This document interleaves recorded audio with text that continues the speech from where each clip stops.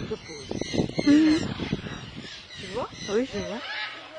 Il y a un